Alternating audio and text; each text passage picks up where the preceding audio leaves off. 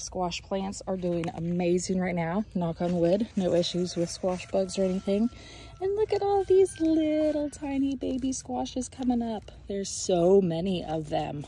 I am absolutely loving this squash variety. It is amazing.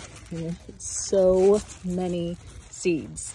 There's so many uh, different uh, yellow squashes coming out. This is the yellow squash, the Summerpac from Park Seed. And they are, yeah, just super prolific so far. So I'm super excited to see how many I actually end up getting.